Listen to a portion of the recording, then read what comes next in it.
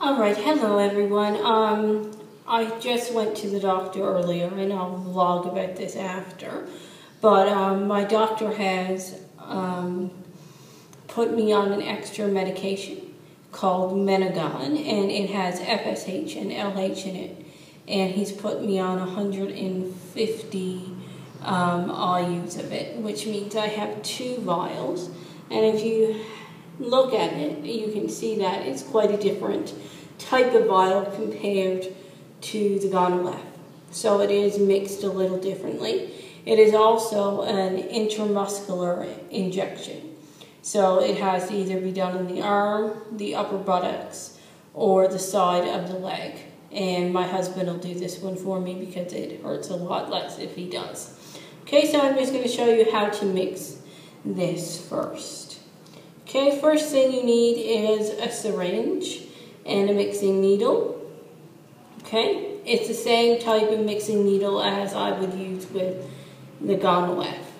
Okay, now the second thing I need to do is break off the caps of these vials. If you see on here, there's a blue um, dot.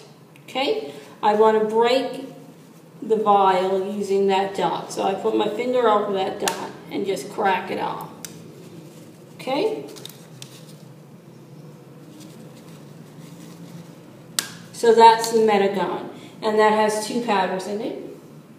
Okay? And then I also have a vial of water. If you remember for the Gonal-f, it's already in a pre-filled syringe.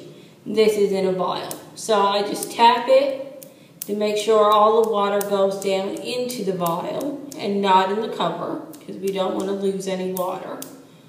And then again, I can snap it off. Now these are glass vials, hence the reason why I'm using a bit of tissue to snap it off in case I were to um, cut myself, which would not be pleasant. I've done that before. Okay, and then again, I pull out some the syringe to one millimeter or milliliter, sorry, and so there's that much air and it's easier to suck up the stuff.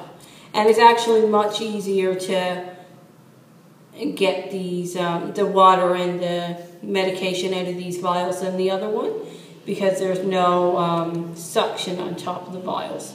So it makes life quite a bit easier, okay? So again, I just put the water into the solution very slowly so there's no bubbles. Okay, and you can sort of see it filling up there.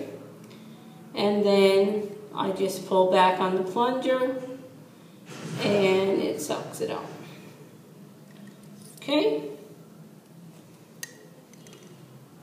And then now because I have it, in the plunger all the way down here, I just want to push it up. So it makes it easier to get the stuff it in the next injection, and in the next vial of medication. So slowly fill it and then suck it in. Okay, and that's pretty much it. Fairly easy, right? Okay, so now just make sure there's no bubbles. Okay, since bubbles are no fun.